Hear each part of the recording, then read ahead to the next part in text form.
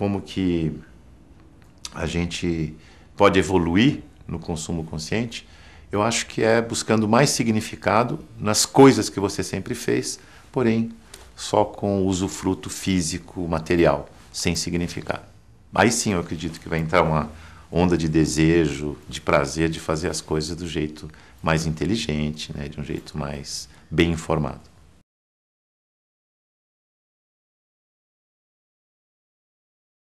Somos parceiros da Catu há muitos anos e é gratificante ver como é que a Catu tem promovido o debate, as discussões sobre o uso consciente.